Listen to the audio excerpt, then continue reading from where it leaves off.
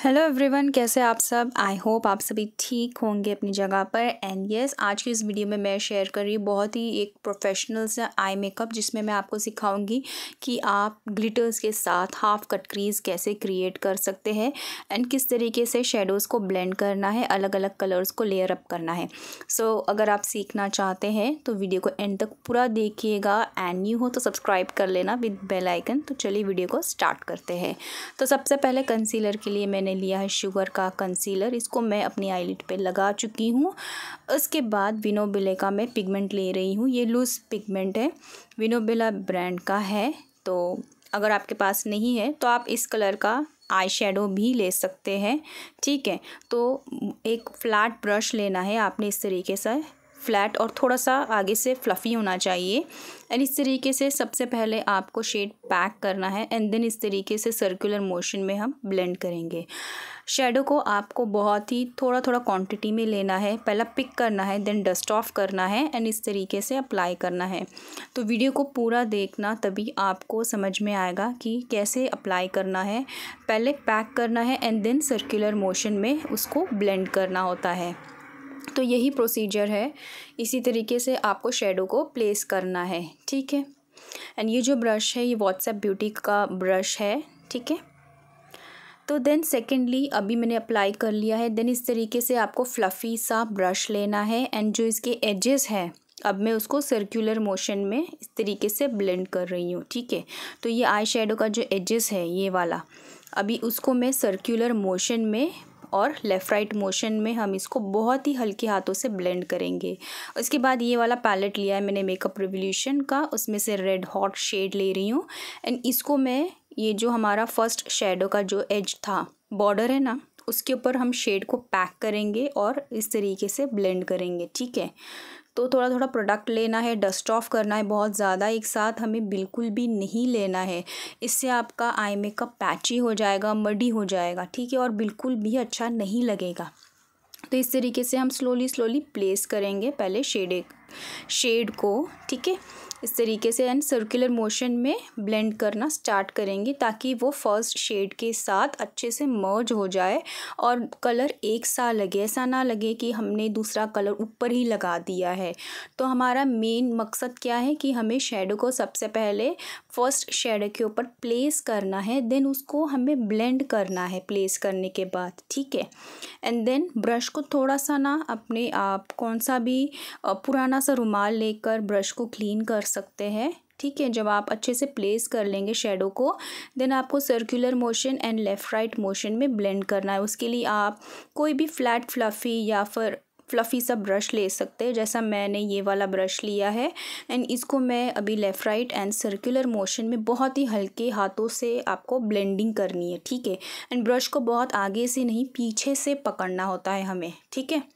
तो इस तरीके से हम इसको हल्के हाथों से ब्लेंड करेंगे, ठीक है? इस तरीके से।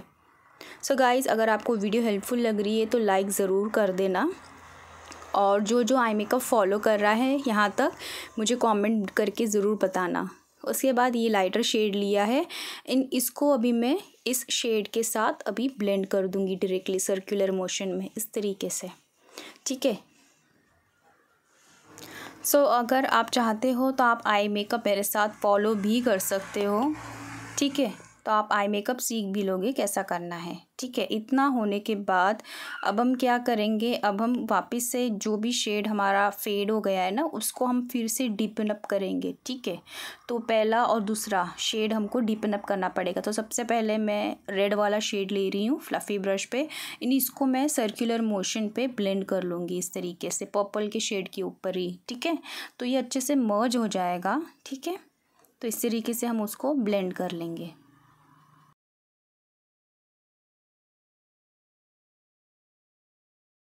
तो आप देख सकते हैं, बहुत ही ज़्यादा अच्छे से ब्लेंडिंग हो चुकी है यहाँ पर। अब हम क्या करेंगे, हमारा जो अभी पहला शेड है पर्पल कलर का, उसको भी हम ब्लेंड करेंगे, ठीक है? मैं वही पिगमेंट ले रही हूँ। आप आई शेडो पैलेट में से ये शेड पिक कर सकते हैं, जो भी आपके पास पैलेट होगा। देन उसके बाद इसको हम पैक करेंगे एंड देन सर्कुलर मोशन में ब्लेंड कर लेंगे, ठीक है? इस तरीके से।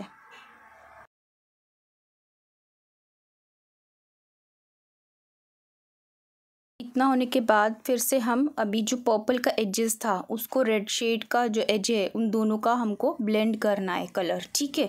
ताकि वो एक सा लगे। तो यहाँ पर मैंने रेड वाला शेड फिर से लिया है पर्पल के एजेस पे ब्लेंड करने के लिए सर्कुलर मोशन में एंड लेफ़्ट राइट मोशन में, इस तरीके से। बहुत ही हल्के हाथों से करेंगे, ठीक है? उसके बाद फिर से मैंने येलो शेड लिया एक अच्छे फ्लफ़ी ब्रश के ऊपर, बड़ा वाला। इन सर्कुलर मोशन में इसके एजेस को ब्लेंड कर जो रेड शेड है, ठीक है? इस तरीके से।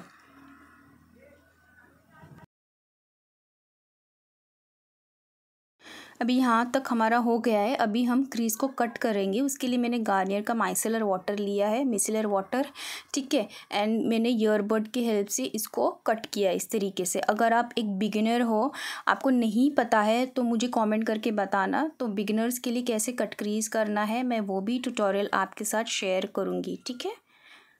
सो, इस तरीके से मैंने ईयरबड के हेल्प से इसको क्लीन कर दिया है, ठीक है? देन हम कंसीलर से उसको ये करेंगे क्रीज को कट करेंगे। ठीक है एक बार ये अच्छे से नीट एंड क्लीन हम कर ले स्पेस को ब्लैक कैनवस क्रिएट करेंगे हम यहाँ पर। ठीक है देन उसके बाद यहाँ पर थोड़े से एडजस्ट को मैं ब्लेंड कर रही हूँ कंसीलर अप्लाई करने से पहले। तो यहाँ पर बहुत ही कम अमाउंट में हमें कंसीलर लेना है कोई भी फ्लैट ब्रश ले सकते हो आप। एंड इस तरीके से थोड़ा थोड़ा कंसीलर लेकर आपको करना है। सो so, इस तरीके से अब अब हमने जो शेप क्रिएट किया है उसको फॉलो करते हुए हम कंसीलर को अप्लाई करेंगे इस तरीके से, ठीक है?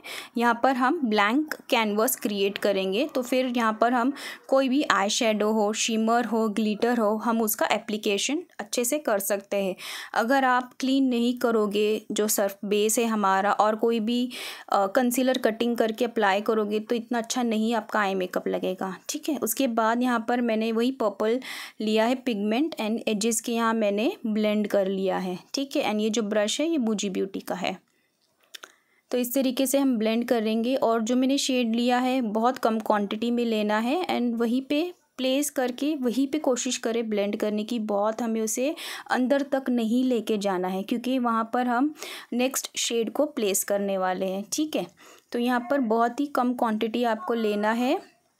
और ब्लेंडिंग करनी है इस तरीके से।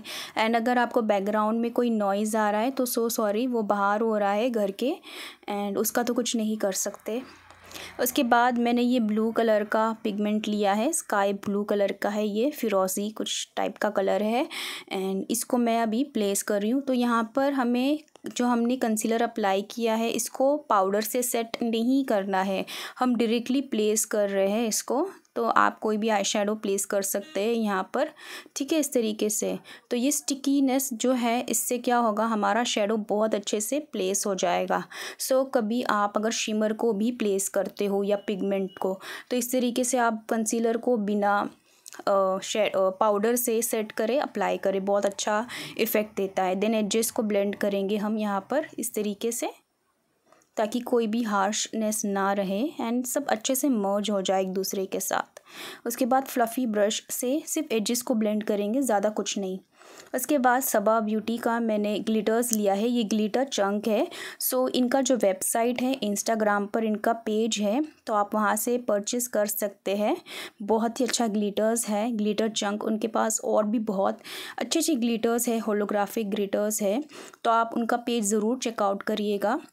सो so, बहुत ही अफोर्डेबल रेंज में आपको मिल जाएगा। लिंक डिस्क्रिप्शन बॉक्स में मैं मेंशन कर दूँगी तो आप वहाँ से परचेस कर सकते हैं, ठीक है? आप डायरेक्टली डीएम करके पूछ सकते हैं। देन मैंने लगा लिया है ग्लू एंड उसके ऊपर ग्लिटर्स को मैं प्लेस कर रही हूँ। तो आपको जितना ग्लिटर चंक चाहिए या नॉर्मल ग्लिटर अगर आप अप्लाई कर रहे हो तो आप अपने हिसाब से उसको प्लेस कर सकते हैं, ठीक है? एंड जब भी आप ग्लिटर्स को अप्लाई करते हो ना तो आँखों के नीचे लूज़ पाउडर ज़रूर अप्लाई करें, ठीक है?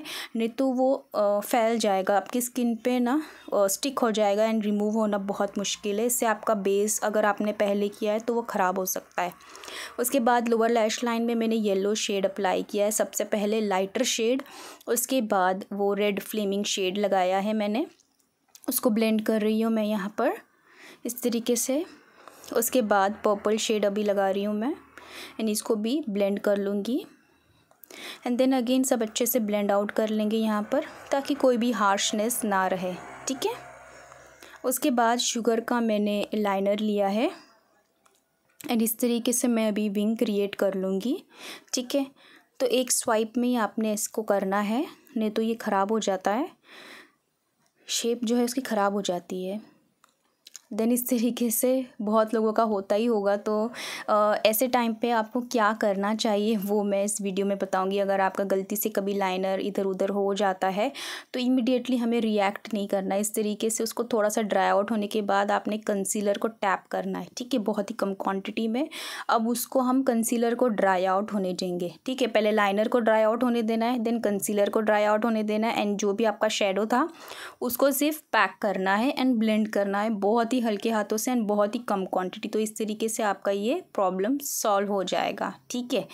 सो अगर आपको वीडियो अभी तक हेल्पफुल लग रहा हो गाइस और आपने लाइक नहीं किया है तो ज़रूर लाइक करिएगा एंड सब्सक्राइब कर लेना, क्योंकि ऐसी और भी वीडियोस आने वाली है मेरे चैनल पे, जहाँ पर मैं आपको बहुत सारे आई मेकअप सिखाऊँगी प्रोफेशनल आई मेकअप क्योंकि मैं खुद एक सर्टिफाइड मेकअप आर्टिस्ट हूँ।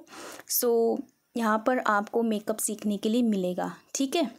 Different different. तो आप जल्दी से subscribe with bell icon and all click करना तभी आपको सभी वीडियो का नोटिफिकेशन मिलेगा। नहीं तो फिर वीडियो जब मैं अपलोड करूँगी आपको नहीं मिलेगा और मिस हो जाएगा। तो आप सीख नहीं पाओगे ठीक है? तो यहाँ पर मैं आपको फ्री में सिखा रही हूँ ठीक है? नहीं तो एक्चुअल में मैं ऑनलाइन क्लासेस भी लेती हूँ जहाँ पर मैं सिखाती हूँ। सो so, यहाँ पर मैंने फॉल्स आई लैशेज़ हैना की लगाई है। हैना ब्यूटी की लैशेस है ये भी इंस्टाग्राम पेज पे आपको मिल जाएगा। इंस्टाग्राम पर इनका वेबसाइट है ठीक है? इंस्टाग्राम पर इनका पेज है, वहाँ पर आपको मिल जाएँगी इनकी लैशेज़ देन हाईलाइट अप्लाई कर ले इनर कॉर्नर्स एंड ब्रोबोन पे एंड इस मेकअप को कंप्लीट किया है हमने। सो so गाइस ये मेरा फाइनल लुक है। अब देख सकते हैं, बहुत ही प्रोफेशनल तरीके से इस लुक को मैंने कंप्लीट किया है एंड बहुत ही ब्यूटीफुल सा लुक लग रहा है ये as you can see so आप इसी तरीके से क्रिएट कर सकते हैं। जैसे मैंने स्टेप बाय स्टेप बताया है कि आप कैसे आई मेकअप कर सकते हो half cut crease I hope आपको हेल्पफुल लगी होगी वीडियो अगर आपको हेल्पफुल लगी हो और अगर आपके कोई फ्रेंड्स हो जिनको आई मेकअप सीखना है सो शेयर कर देना. अगर न्यू हो तो सब्सक्राइब कर देना. सब्सक्राइब करके ऑल ज़रूर क्लिक करना ताकि आपको नोटिफिकेशन कोई भी मिस ना हो. और अगर आपको आज का वीडियो पसंद आया हो मेक श्योर sure वीडियो को लाइक ज़रूर करें. शेयर कर लेना फ्रेंड्स के साथ जिनको ज़रूरत है, जो सीखना चाहते हैं. ठीक है? एंड या मैं मिलूँगी आपसे अपने नेक्स्ट वीडियो पे एंड मुझे इंस्टाग्राम पर भी फॉलो कर सकते हैं आप। लिंक डिस्क्रिप्शन बॉक्स में मिल जाएगी एंड ग्लिटर्स की लिंक भी। साइल सी मैं next video guys bye bye